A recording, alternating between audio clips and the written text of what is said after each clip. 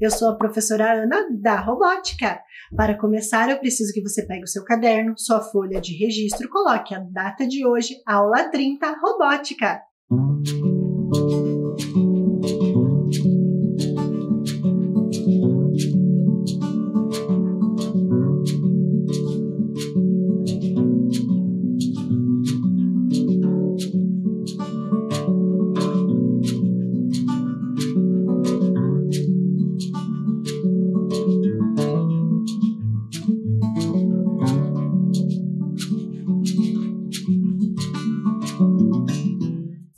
Colocaram a data.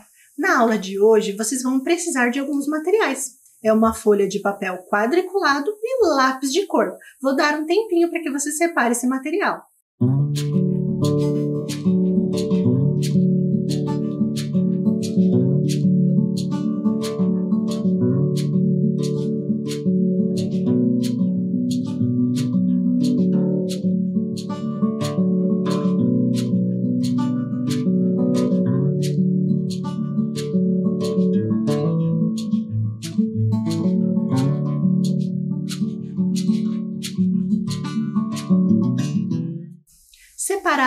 Materiais?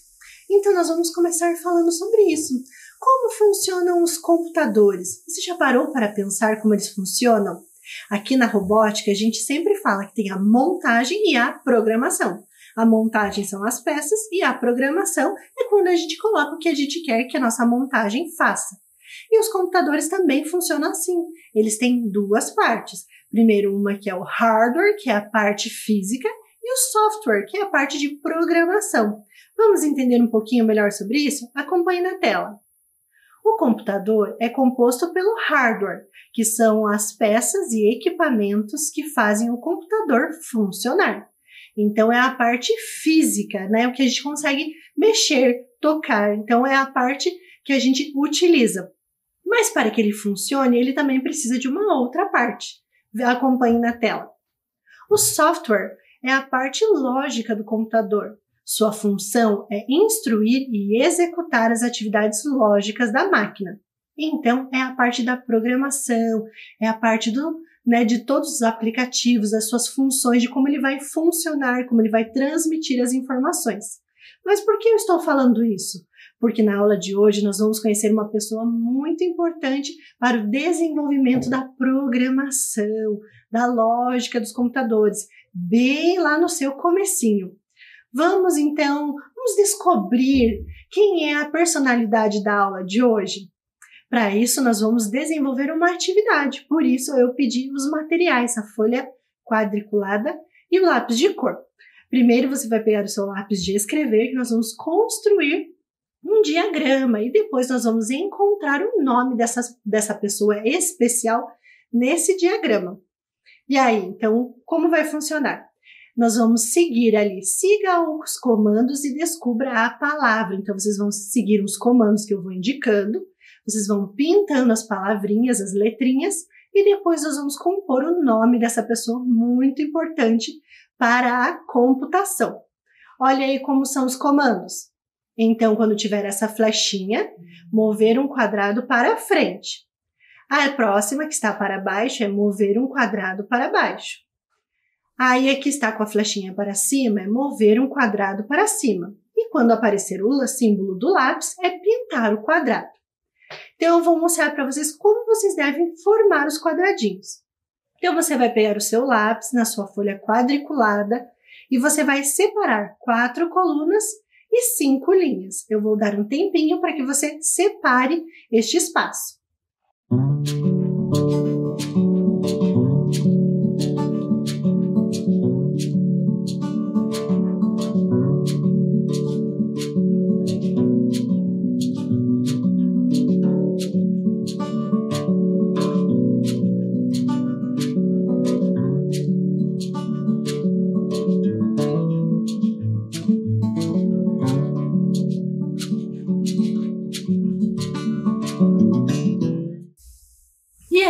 conseguiram separar? Agora você vai pegar o seu lápis e eu vou falando as letras que você vai compor nas suas colunas. Acompanhe aí. A primeira coluna você vai preencher com essas letras. Olha aí. A, D, A, você pode fazer uma carinha feliz ou um símbolo, que vai ser o espaço, e a letra L, certo? Na próxima coluna, B, F, I, S, O.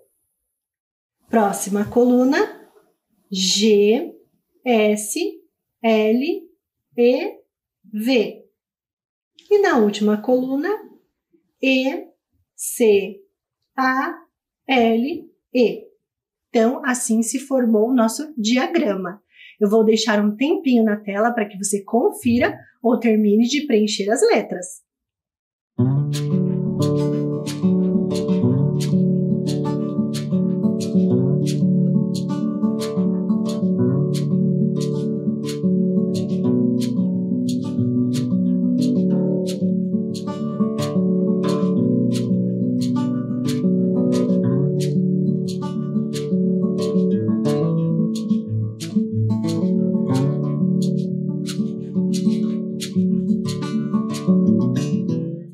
E aí, conseguiu? Então, vejam os comandos que nós vamos utilizar. Então, quando aparecer essa setinha, é, significa para frente. Quando ela estiver para baixo, você vai pintar o quadradinho de baixo. Quando ela estiver para cima, você vai pintar o quadradinho para cima. E quando aparecer o lápis, você vai pintar, certo? Então, preste atenção nos comandos. Pegue um lápis de cor, você pode utilizar o amarelo, o laranja ou a cor que você tiver aí. E aí, conforme eu for falando os comandos, você vai prestar atenção e vai pintando as letras, certo? Vamos lá? Preparados? Acompanhe na tela. Então, veja aí. Então, o primeiro comando é para frente, pintar. Então, você vai pintar a letra A. Próximo comando. Para baixo, pintar. Então, vai pintar a letra D. Próximo comando. Para baixo, pintar. Vai pintar a letra A. Próximo comando, para baixo, pintar. Também vai pintar ali a carinha feliz ou símbolo. Próximo comando, para baixo, pintar. Então, vocês vão pintar a letra L, certo? Próximo comando, para frente, pintar. Então, você pintou a letra O. Próximo comando, para frente, pintar. Agora a letra V. Próximo comando, para frente, pintar. Então você vai pintar a letra E. Continuando. Agora o próximo comando é para cima, pintar. Então você vai pintar a letra L. Para cima, pintar. Vai pintar a letra A. Para cima, pintar a letra C. E o último comando, para cima, pintar, que é a letra E. Vou dar um tempinho para que você termine de pintar caso você não tenha conseguido.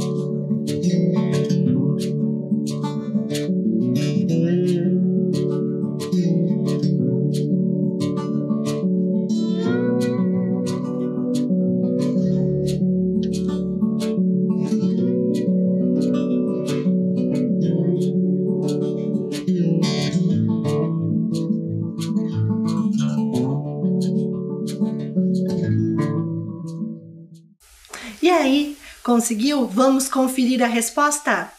Ada Lovelace, ou ali no caso está escrito Lovelace. Mas o nome dessa pessoa nós falamos Ada Lovelace. Mas quem foi Ada Lovelace? Quem é essa pessoa? Para entender quem ela é e a sua importância para a história da computação e também da robótica, eu vou voltar um pouquinho na história, na história da robótica. Vamos voltar um pouquinho em algumas informações que vocês já viram nas aulas anteriores. Vamos relembrar uma pessoa, o Jacques de Vaucanson. Vocês lembram dele? Então, ele nasceu na França em 1709. Inventor e artista, revolucionou a concepção de autômatos, criando os primeiros a funcionarem com êxito. Vocês já viram nas aulas anteriores os autômatos, que são considerados os avós dos robôs. Então, o Jacques de Vacquenson criou um modelo bem interessante que vocês já viram, que é o pato mecânico, vocês lembram?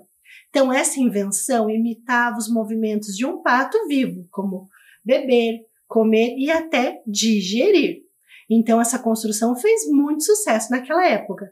Mas ele não criou só isso, ele criou algo bem importante. Acompanhe a leitura. Após um tempo, o inventor foi convidado a trabalhar na área têxtil, como inspetor de produção de seda na França. Nesse período, as tecelagens francesas estavam perdendo terreno para a Inglaterra e a Escócia. Sendo assim, Jacques teve a brilhante ideia de automatizar o processo de tecelagem. Mas infelizmente ele não conseguiu concluir todas as suas ideias.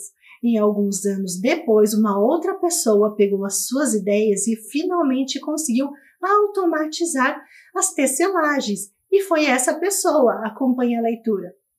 Em 1804, Joseph Marie Jacquard, mecânico de teares em Lyon, na França, inventou um sistema para o comando automático das operações repetitivas e sequenciais, até então executadas manualmente pelos tecelões. Então ele finalmente conseguiu automatizar os teares.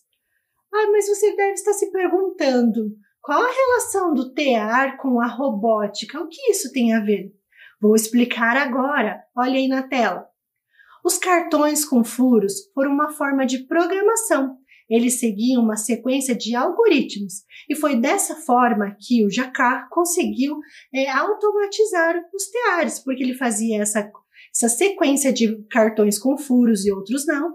Então a máquina sabia onde deveria passar os fios e ali formava várias estruturas diferenciadas, estampas, cores, o que tornou seus tecidos muito bonitos e fizeram muito sucesso na época. E a partir desta programação dos teares é que muito mais tarde essa mesma lógica foi utilizada nos computadores. Hum, você já até estava pensando, tem um espaço que tem um buraco, no outro não. Hum, parece o zero em um dos códigos binários. Nós vamos saber um pouquinho mais sobre isso, mas tem a partir desta lógica. Acompanhe a leitura de mais esse fato interessante. A máquina analítica, também conhecida como engenho analítico, foi proposta pelo pioneiro da ciência da computação, Charles Babbage. Posteriormente, esse invento foi construído graças ao algoritmo descoberto por Ada Lovelace, então a nossa personagem de hoje. E quem foi Ada Lovelace? Ada Lovelace foi uma matemática e escritora inglesa. É reconhecida por ter escrito o primeiro algoritmo para ser processado por uma máquina, a máquina analítica. Vamos entender um pouquinho mais sobre a história da Ada Lovelace através de um vídeo? Acompanhe aí. Olá, eu sou Silvia Amélia Bin e vim contar uma história para você.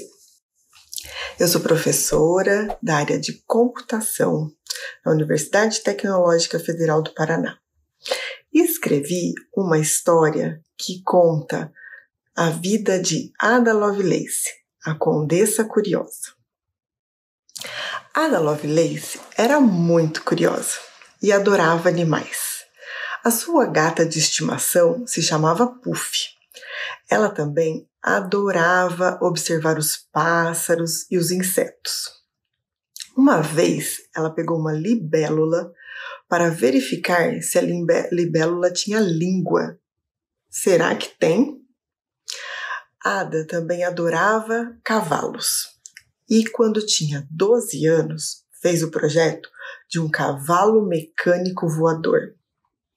Ela vivia em Londres, na Inglaterra, e naquela época, por volta dos anos de 1820, 30, 40, as pessoas estavam inventando muitas máquinas. Por isso ela pensou num cavalo mecânico voador. Ela sempre foi incentivada a estudar, pela sua mãe e pelo seu pai. A sua mãe, Annabella Milbank, era uma matemática muito famosa, muito talentosa. O seu pai era Lord Byron, um poeta também muito famoso e muito talentoso. A mãe de Ada queria que ela estudasse matemática, física, química. O pai gostaria que ela estudasse italiano, música, pintura. Ada estudou tudo isso. Ela gostava muito de estudar, mas ela nunca foi para a escola. Naquele momento, as meninas não podiam ir para a escola. Mas, você já deve ter percebido, a família de Ada Lovelace era muito rica e tinha condições de pagar os estudos para ela dentro de casa. Compravam livros e ela também tinha uma governanta que ficava apoiando e controlando os horários dos estudos. Além disso, também tinha amigas de seus pais e amigos de seus pais que incentivavam ela a estudar. Levavam livros, materiais e conversavam muito sobre diversos assuntos.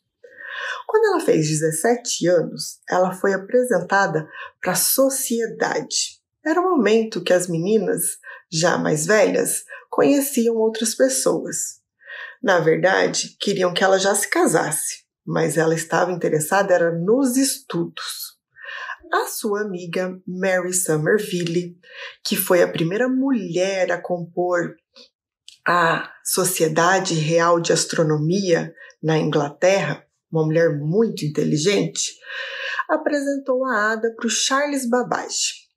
Charles Babbage também era muito criativo e adorava inventar máquinas. Uma das máquinas que ele criou se chama máquina analítica e é considerada um primeiro projeto de um computador. Ele precisava de dinheiro para fazer essa máquina. Então ele saía pelo mundo falando sobre ela, buscando quem pudesse financiar essa construção. Mas era muito difícil. Uma vez, quando ele fez uma palestra na Itália, um engenheiro ficou muito interessado, mas não tinha dinheiro para ajudar escreveu um artigo sobre isso, explicando como a máquina funcionava. Mas ele escreveu em francês. Charles Babbage precisava também buscar dinheiro na Inglaterra. Então, os amigos tiveram uma ideia de que a Ada poderia fazer a tradução do francês para o inglês. Lembrem-se, ela estudou muito diversos assuntos e vários idiomas, entre eles o francês ela fez uma tradução belíssima. E nessa tradução foi tendo ideias de como aquela máquina poderia funcionar. Poderia fazer muito mais ah, do que cálculos, poderia fazer imagens, poderia fazer música.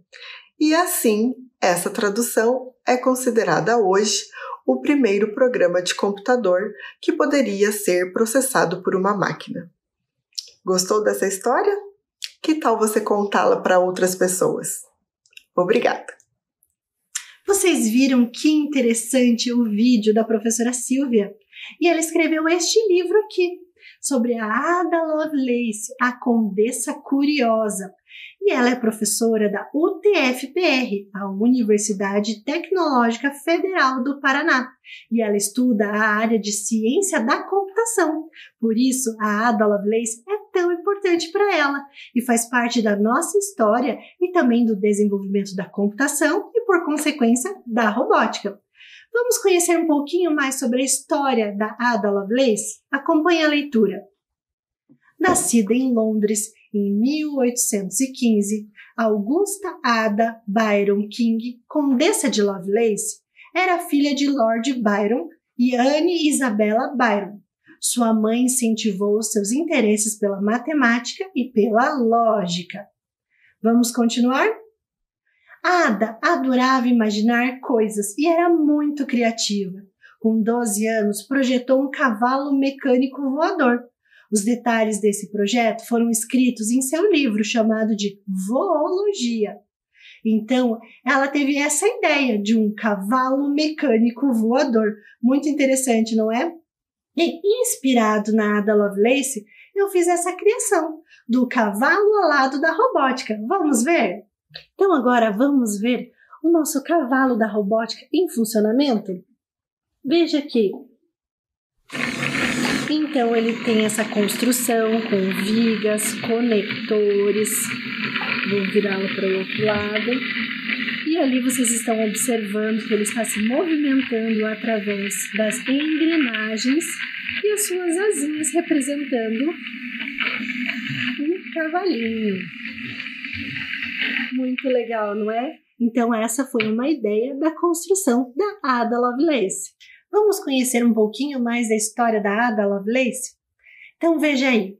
Quem acompanhava os estudos da Ada era sua gata Puff e sua governanta, a Miss Lamont. E aos 17 anos conheceu Mary Somerville, uma matemática brilhante. Foi a primeira mulher nomeada para a Real Sociedade Astronômica. E acompanhe aí. Ada conheceu Charles Babbage, que havia inventado a máquina diferencial. Ela realizava o cálculo de maneira mecânica e totalmente automática. Ada e sua mãe ficaram animadas com essa invenção. Acompanhe aí. Ada se casou com Lord William King. Eles tiveram três filhos, dois meninos e uma menina. E Ada continuou seus estudos e, através de cartas, se comunicava com Babbage. Hoje é reconhecida principalmente por ter escrito o primeiro algoritmo para ser processado por uma máquina, a máquina analítica de Charles Babbage. Por esse trabalho, é considerada a primeira programadora de toda a história. E por isso, a segunda terça-feira de outubro é conhecida como o Dia da Ada Lovelace, dia de inspirar mulheres a trabalhar na área de tecnologia. Vamos conhecer um pouquinho mais da história da Ada Lovelace através deste vídeo? Fala galerinha, beleza? Oi galera! Então, acredito que muitos de vocês já devam ter ouvido falar em algoritmos, não é mesmo? E se eu te perguntar quem é Ada Lovelace, você vai saber me responder? Então, acredito que depois de você assistir o vídeo de hoje, você vai saber responder com toda segurança quem foi Ada Lovelace. É, e vai agradecer muito a ela, pois a internet não funcionaria sem o talento matemático dessa mulher. É isso aí, né, Davi? E ó, e se vocês estão chegando agora aqui no canal, já aproveitem para se inscrever agora mesmo. E não se esqueçam, é claro, de ativar o sininho de notificação. Assim, quando sair vídeo novo aqui no canal, o YouTube vai te avisar. Então, bora lá conhecer a mente brilhante de Ada Lovelace? Opa, bora lá! E se você ainda não me conhece, eu sou Heraldo Kaminski. E eu sou Davi Kaminski. E vocês estão aqui na Terra do Contrário. Onde é que fica essa terra do contrário? Fica lá do lado que fica de cá, fica lá do lado que fica de lá. Fica lá no lado que fica de cá, fica lá no lado que fica de lá. E aí, galerinha, beleza? Oi, galera! Então, na história da ciência, não é comum vermos tantas mulheres, não é mesmo? Mas quando elas aparecem, se destacam e muito. E historicamente, esta é uma área dominada por homens. E por mais que as mulheres não tivessem oportunidades aí de se destacar, muitas delas conseguiram grandes feitos. E esse foi o caso da Condessa de Lovelace, mais conhecida como Ada Lovelace. E essa matemática foi a que criou o primeiro algoritmo. E com isso, ela entraria para a história se tornando a primeira programadora. E olha, muito à frente aí do seu tempo. E sim, ela foi a primeira programadora da história. E não só a primeira mulher a fazer isso. É, exatamente. E olha, isso aconteceu muitos anos antes da criação do primeiro computador. E olha, quem dirá do primeiro aparelho de celular, hein? E tudo começou quando Ada tinha apenas 17 anos. Ela conheceu o matemático Charles Babbage, é que inventou as máquinas diferencial e analítica. E a Ada ela ficou muito interessada com o invento de Charles e participou do projeto da sua máquina analítica. E a máquina analítica foi a primeira da história que pôde ser programada para executar qualquer tipo de comando. É isso mesmo. E a Ada notou também que essa máquina seria capaz de fazer muito mais do que meros cálculos. E foi entre 1842 e 1843 que Ada traduziu um artigo italiano e complementou o estudo com observações de sua autoria. E essas observações eram maiores do que o próprio artigo. E nelas havia um algoritmo que havia sido criado para o processamento de máquinas, sendo então considerado o primeiro programa de computador da história. E isso, Ada nos mostrou que os computadores eram capazes de produzir muito mais do que apenas cálculos. É, e olha, isso numa época onde os matemáticos estavam mais preocupados em resolver esse tipo de problema, né? E a Ada veio aí mostrar que estava além do seu tempo ao apresentar do que um algoritmo era capaz de fazer. E hoje em dia, o mundo não seria repleto de computadores e celulares se Ada não tivesse a ideia brilhante de criar um algoritmo. E ela abriu portas para muitos cientistas que vieram depois dela, que basearam seus estudos em suas descobertas, como, por exemplo, Alan Turing. E Alan Turing é considerado o pai da computação, pois ele criou a inteligência artificial, que está presente em quase tudo hoje em dia. E foi em 1953, quase 100 anos após a morte de Ada Lovelace, que a máquina analítica foi reconhecida como o primeiro modelo de computador da nossa história. E esse reconhecimento veio graças a Alan Turing, que fez referência a Ada em seu trabalho. E claro que ela foi tão importante para a história que em sua homenagem foi criado o Ada Lovelace Day. Esse dia é comemorado em toda segunda terça-feira do mês de outubro. E não é somente para se comemorar o que Ada Lovelace fez para a ciência aí, né, Davi? Bem isso, né, pai? Pois nesse dia é também para se comemorar a conquista das mulheres e incentivá-las a que elas estejam mais presentes na ciência. E já que ela criou o algoritmo, que tal você deixar o seu like para que o algoritmo entenda que você gostou do vídeo de hoje? E se vocês quiserem aprender mais curiosidades e fatos científicos, a gente vai se ver sempre aonde? Aqui na Terra do Contrário. Até mais, galerinha! Até o próximo vídeo! Tchau, galera! Uh, fui! Obrigada, Davi Kaminski e o seu pai, por esse vídeo super legal sobre a Ada Lovelace. Muito interessante, né? E aí, vocês gostaram de conhecer a história da Ada Lovelace? Conseguiram entender a sua importância para a computação e para a programação e também para a robótica? Vocês viram que legal? Então, se você já construiu algo interessante ligado à robótica ou tem alguma ideia legal para gente, mande um e-mail, vocês já sabem as informações. Vamos ver? Então, mande um e-mail para a gente para robótica.curitiba.pr.gov.br. Não esqueça de colocar o nome completo, o nome da escola e a sua turma e o registro da atividade. E vocês precisam que um responsável envie esse e-mail para vocês, certo? E fique de olho na sua caixa de entrada, que nós estamos respondendo os seus e-mails para que as suas atividades apareçam aqui na nossa aula. Eu vou querer muito ver as suas atividades aqui e poder mostrá-las para as outras crianças e os outros estudantes. Espero que vocês tenham gostado da aula de hoje, de conhecer um pouquinho mais sobre a Ada Lovelace, ou conhecer se você não sabia quem era, e agora vocês sabem a importância dela para a computação e para toda a tecnologia. Então, até a próxima aula. Tchau!